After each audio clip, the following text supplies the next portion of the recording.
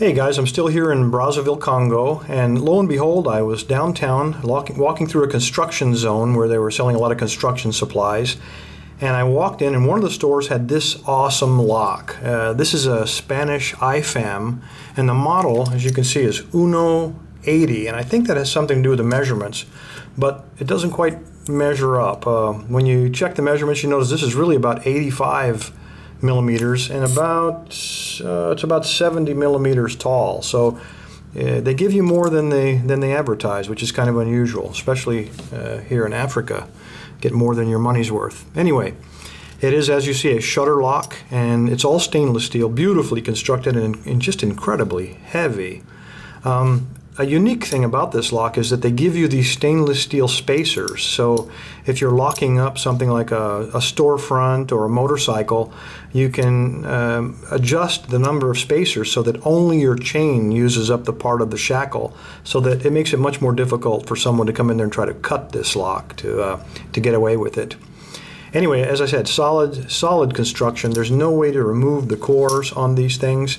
And speaking of the core, uh, you'll notice that there's a spinner. It actually protects the core. Uh, and that's a, a, counter drill, of course. And uh, so when you start drilling, of course, this thing will spin around. It's hardened stainless steel. It's going to be really hard to try to drill uh, into this core to drill your way in there. Uh, I don't know if you can see inside of there, but it is a dimple lock, and it is a seven-pin dimple lock. And this also is a little bit uh, unusual. If you take a close look at the at the key, get a backing here for you, you really only can see five drilled dimples, but there are actually seven. And just if you look very closely, you can see that this one is cut to the maximum depth, number two, and also number seven is cut to the maximum depth. So if you just judge from the key, you might think you're only dealing with five pins instead of seven. But as soon as you start picking it, uh, you figure that out pretty quick. Uh, as I said, brand new.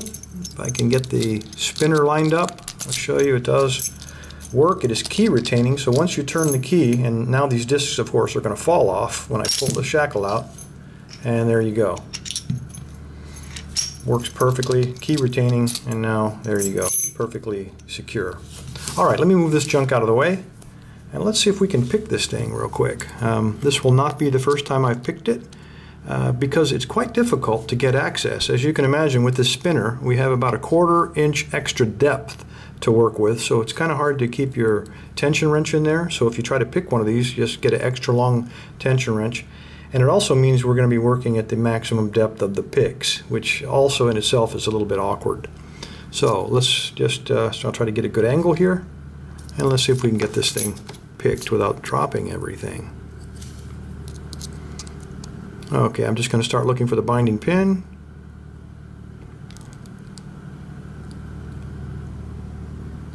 Okay, feels like number four. Feels like I got him set. Five. And seven.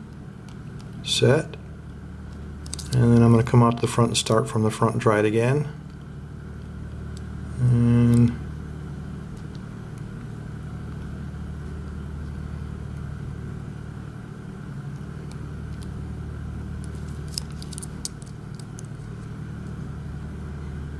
I realize the light is not perfect, but uh, the power is out here at the hotel and they're running the generators 24 hours basically.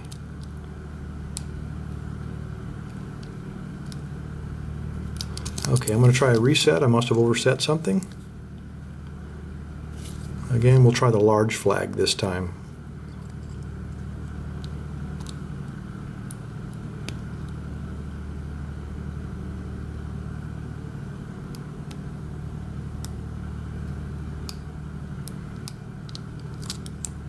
Okay, I got pin 4 is set. Pin 1 is still springing. Uh, pin 2 feels like I got a slight false set.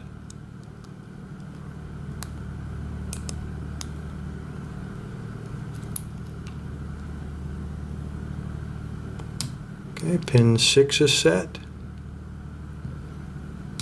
And pin 7 is set. If I can get my pick out of there, sometimes they get stuck in these dimple locks. There we go. And I'll start from the front again.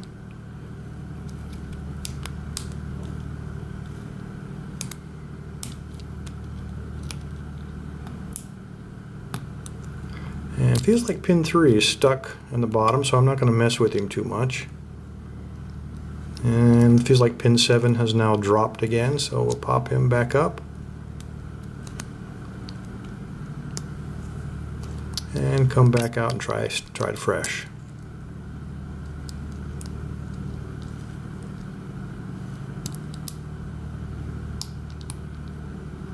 Feels like everybody's in their seat.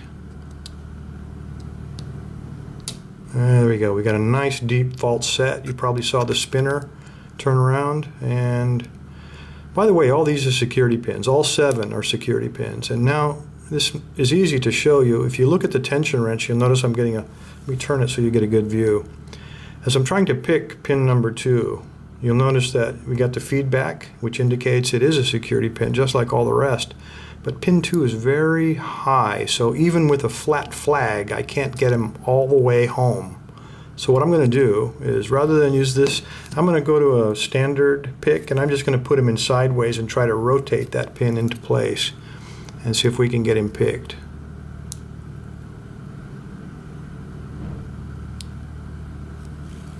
I can get under him at this angle.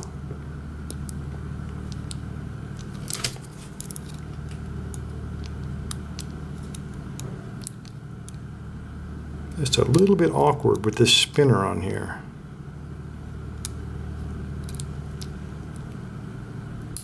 And there we go, picked. So we got an open on a Spanish IFAM Uno 80. Anyway, fellas, it's not as hard as you might think. Just uh, pay attention to that feedback and remember they're all security pins and you'll be picking these things before you know it. Anyway, thanks for your time. Everybody stay safe and stay legal.